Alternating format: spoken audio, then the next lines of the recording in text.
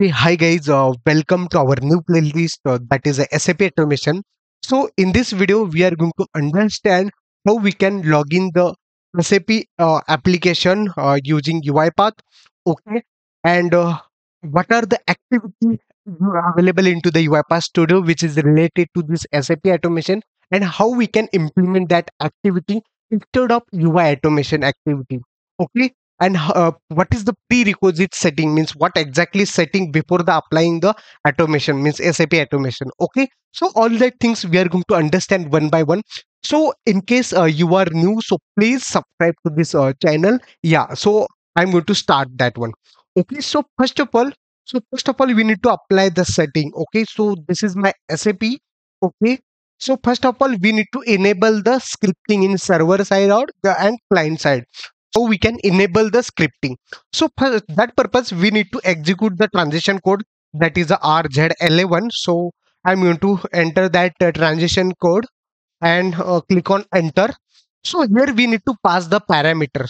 So that parameter is, is a uh, like sap uh, gui uh, slash user underscore scripting. So we need to enter this name and click on display. So we need to enable the scripting. How we can do that so uh, like we need to enter, enter the transition code that is RZ11 and uh, type the uh, parameter name that is a SAP GUI and uh, slash uh, scripting. Okay, user scripting. Okay, so then we will get uh, we will get this kind of page. So here we have option that is a change value. Click on that change value and so then after clicking on this change value you will get this kind of pop-up.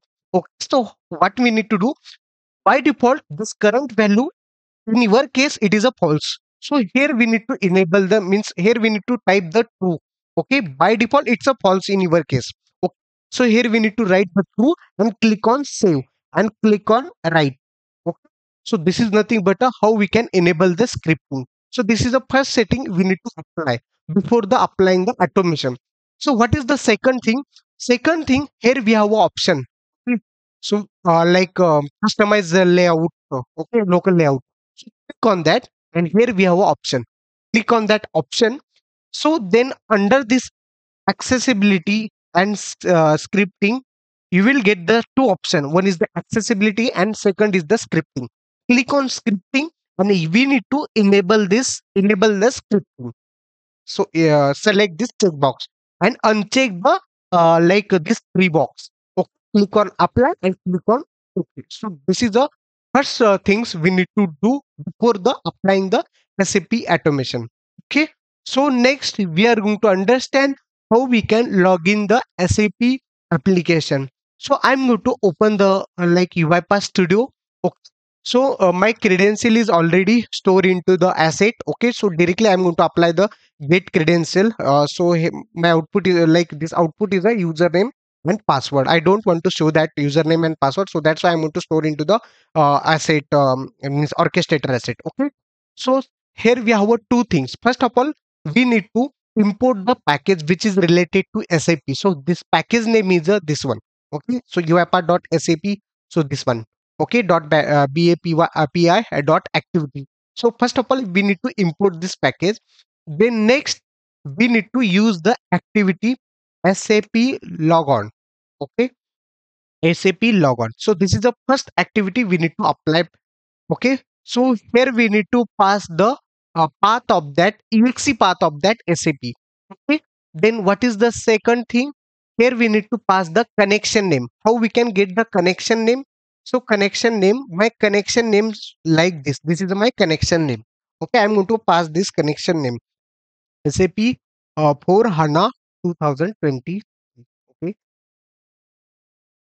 So i'm going to pass in uh, as a string okay? Sap for hana 2023 and let me i'm going to check uh, this is correct or not. Yeah. So s4 hana s4 hana sorry. S4 hana 2023 this is a connection name. So how we can create a connection name so I'm going to close this one. Okay, so that purpose we required uh, uh, like uh, parameters. So many uh, parameter we required. So right click. Okay, so click on uh, right click on any option. okay here we have option add new entry okay or add new connection okay so click on next okay here we need to pass the description application server instant number and system id so all these uh, parameter we need to pass and create a connection. This is nothing but how we can create a new connection. Okay? So once a create a connection you will get the name of that connection. Okay? So then so here this is a connection name we need to pass into this uh, block. Okay? So that's it. This is nothing but how we can pass the connection name. Okay? So then next activity and this is very important activity sap login. Okay? So sap login so we need to just indicate that application. Okay? So no. So first of all we need to double click on this connection. Okay? Then after that you uh, uh, like you will get this kind of login page. Okay? Then uh, like indicate that application. Okay? I'm going to indicate this login application. That's it. Yeah. So that's it. Uh, i don't want to reuse this component element. Okay? So i'm going to click on that then what we need to do? We need to pass the we need to pass the this information okay what so first is the client. Client means you will get the one uh, code. Okay so that code we need to pass here. Okay my code is uh, i'm going to enter that code. Okay so like 600 okay so username my username is username. So that is already uh, available in uh, into the asset. I'm going to just pass that uh, value here okay username and password. Here we need to pass the username and password. So my uh, like uh, password is a, uh, like secure string so i'm going to pass that one. Okay so always you need to select the language that is a en okay so yeah. After getting the license you will get this all kind of information description application name okay so uh, application id system id client number username and password language all that things. You will get that okay? So just we need to pass the all parameter. Once uh, done it so once uh, done it here we have a property. Close property i'm going to select the neighbor. I don't want to close uh, after completing this login and open. So i do if not open and so yeah so that's it. Uh, if you want to pass the any uh, like um, this is the retry number. We need to pass suppose i want to pass the retry number. So three times i want to retry if it is not able to open. And uh, number of retry here we need to pass the number of retry and retry between interval. Okay so we need to pass that time. Okay so that that is a important property. Okay so i'm going to click on save and i'm going to first of all close this. Yeah so close. And this one i'm going to close so now i'm going to run this. Let's see what happened. It is going to log in the sap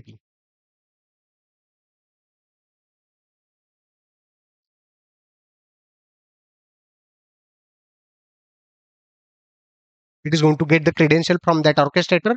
Yeah so log on is going on. Okay so now uh, login is going on. Yeah so that's it. Okay so this is nothing but uh, how we can log in the sap application. First of all we need to enable the scripting then we need to pass the uh, then we need to take a sap logon then sap login activity and pass the whatever uh, parameter mandatory parameter required for that activity. So then once I land on this page you uh, like uh, so you we need to enter the transaction code. Okay so this is a block. So here we need to pass the transition code. How we can pass the transition code? So normally people are going to use a like uh, type into activity uh, which is related to ui automation. But we have a directly sap activity guys. So try to implement that activity.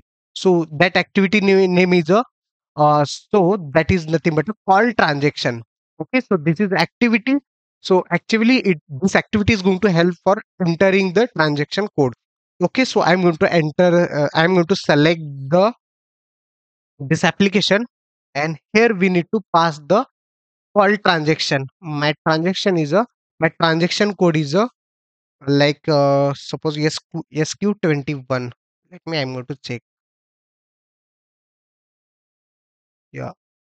Qs21 sorry. I want to enter this transaction code.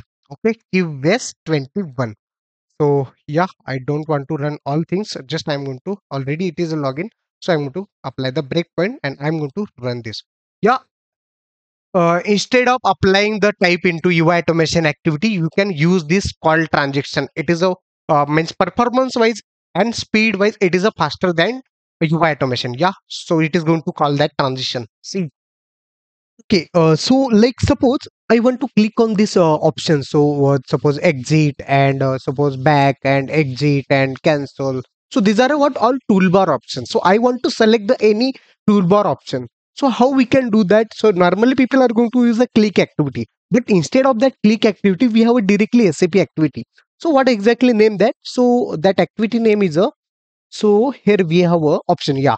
So this one, uh, click toolbar option. I'm going to drag and drop, drag and drop this activity, and here I'm going to indicate on any one option. So like suppose, uh, first of all, I'm going to indicate this only. Uh, so this exit option. I'm going to indicate and select and that's it. Yeah so that is a enter option okay? So yeah so i'm going to uh, run this. Yeah it is going to click on this enter option. Yeah. Wait for start. Yeah i think started. Yeah it is going to click on that exit button. Oh sorry enter button okay suppose i want to click on this back button. So how we can do that? So whatever the option which is available into this toolbar so automatically recognize yeah so these are all option which is available into that uh, ribbon means uh, toolbar option. So it is going to automatically get that all things. Yeah see. Suppose i want to click this time i want to click on that back option. Here we have a back option. I'm going to select and i'm going to run this. It is going to click on back uh, button. No need to get the uh, another click activity or any another uh, so activity so toolbar activity. Same activity just we need to select the another option. So that is a good thing so, uh, related to this uh, act, sap activity instead of click. Okay so i think it has clicked. So i'm going to check. Yeah. So back. Okay so back. See entry mandatory field short text. Okay suppose suppose i want to click on this uh, exit option. So just we need to select the exit. Okay so and i'm going to run this. Let's see what happens so it is going to click on that exit button.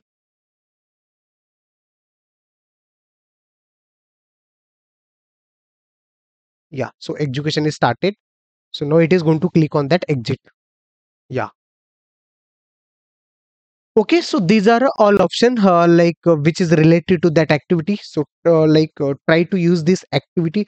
So instead of uh, click activity. Okay so another again we have a multiple options. See uh, like table cell scope. What exactly this activity? Tool sale scope means what? Suppose there is a one table. I want to put the one by one record from that column. So it is going to automatically understand existing data and write into the next cell for example suppose i'm going to open the any value here uh, transition code which is related to this one table and I'm going to enter. So click on exit. Now I'm going to enter the transition code. This is my transition code. I'm going to enter. Yeah. Suppose I want to put the one by one material which is available from Excel to this uh, application. So all material there is a one column that is a material column. Just I want to enter uh, put the material code and enter. Again put the material code and enter. So this kind of things uh, uh, you want to automate. So that purpose we have activity uh, like table sales scope.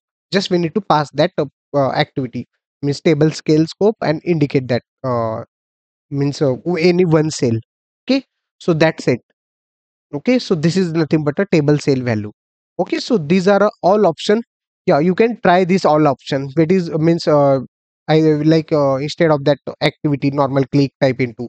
So you can apply this activity. Yeah uh, so this is all about this uh, sap related activity how we can log in the application how we can use this activity. Okay? So yeah so uh, thanks for watching this video. Uh, in case uh, any query okay? So please uh, comment on comment box. Yeah so thanks